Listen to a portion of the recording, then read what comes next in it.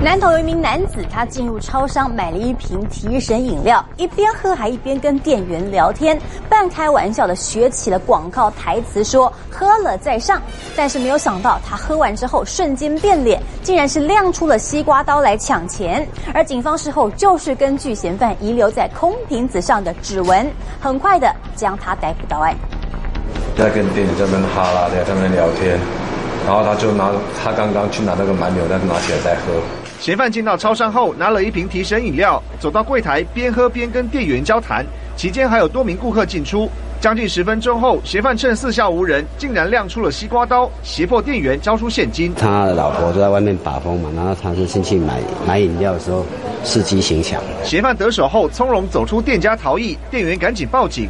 而他当时在店内自行取出饮料饮用，玻璃空瓶上留下了清晰的指纹，一下就被警方锁定。这个也是我们破案的一个一个契机，因为他的蛮牛瓶上面有留着他的一颗指纹。